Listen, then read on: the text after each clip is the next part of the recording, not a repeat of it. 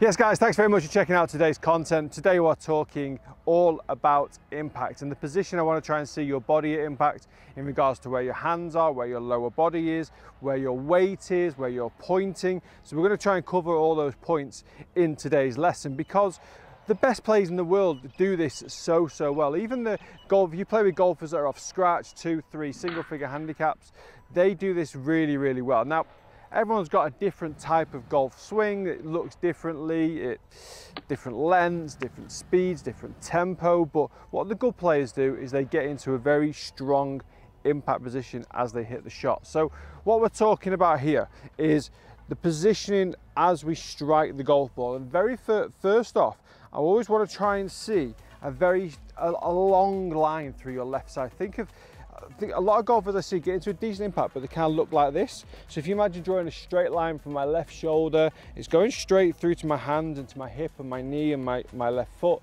but it's quite short.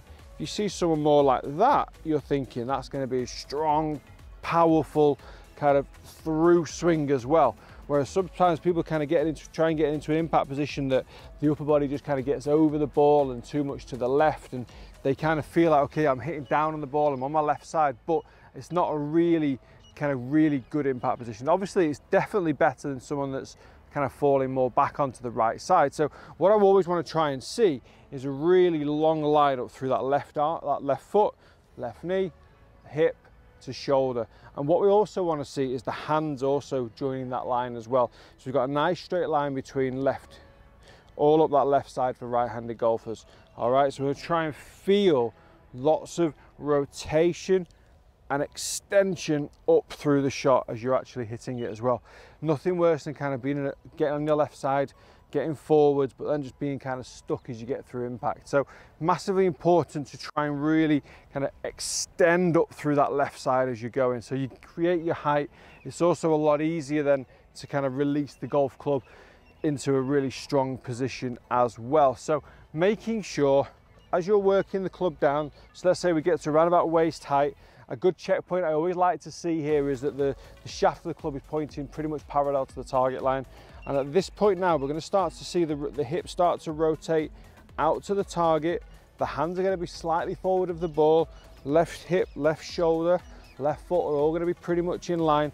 Body weight at this point is probably only 60% on my left side. See again, I see a lot of golfers try and get 100% of the body weight across. That's not the case, okay? If you ever, if you've got opportunities to go and use a kind of biomechanics lesson, use the force plates, you'll be very surprised at how much your body weight does distribute throughout the golf swing. There's always lots of movement, but also it's not 100% on your left side as you're actually hitting the shot.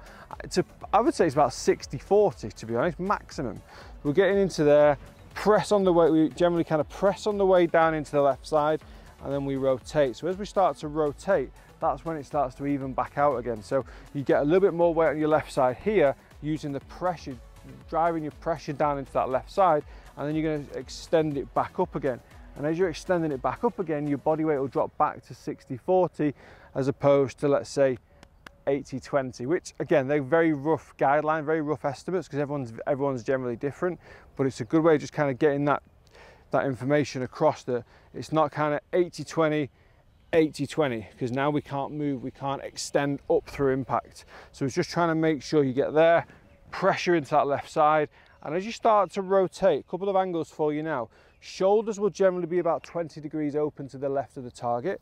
The, the hips will be pointing approximately 45 degrees left of the golf ball and my hands will be on that left leg, okay? So trying to drive into that position there work the hands forward and you're to have to feel that you are manipulating the hands a little bit on the way down to create that position because for me when I take my setup I have my left wrist a little bit cupped so that means it's a little bit that way okay so set because I have a strong left hand that goes over the top I have a, I have a cup position there but as I come into impact I'm actually going to have it more a lot straighter, a lot more extended as I come into impact. So you're going to have to start to learn and feel these positions because the setup position and the impact position are two very different things as well. Getting the book, getting the club into position at impact, being able to rehearse it. I often tell a lot of golfers I teach to do this.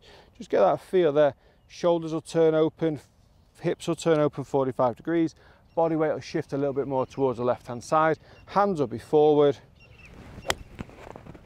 And more often than not, because of that position, I can almost guarantee that you're gonna bottom out the swing after the ball. And that's the, what we're trying to do. We're trying to hit down on the ball. We're trying to compress the ball. So the low point of the golf swing is going to be slightly after the ball. So that's when you get ball and then divot. So again, as you're coming down, feel that position, just turn into impact there. Body weight's 60-40, hips have opened up, shoulders have opened up, hands are in line with the lead leg.